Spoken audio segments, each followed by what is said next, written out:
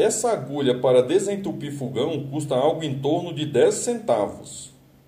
Essa aqui artesanal custa mais que 3 reais. Olá, eu sou Davi Rocha da Silva, sejam bem-vindos aos nossos canais. Por que será que tem essa diferença tão grande de preço? Visitem nossos canais no YouTube, Davi Silva Elétrica e Cia, Elétrico Dubai Davi Silva, Zé Faísca Channel e Pica da Elétrica. Visitem nossos canais, se inscrevam e compartilhem. Visitem também a nossa lojinha de elétrica e CIA que já estão nas lojas de e-comércio.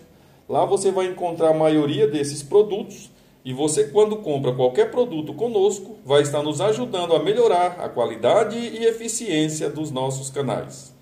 Visitem nossos canais. Eu sou Davi Rocha da Silva. Simples assim.